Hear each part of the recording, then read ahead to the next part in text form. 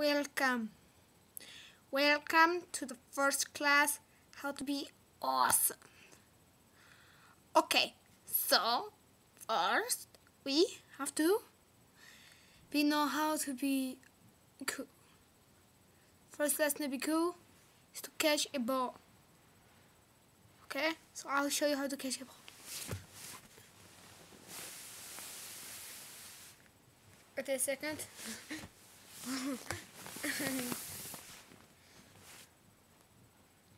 okay, so this is how you catch a ball. So you throw a ball up, put your arm down. Good, good. Let's do it again. Good. Thank you for watching How to Be Awesome.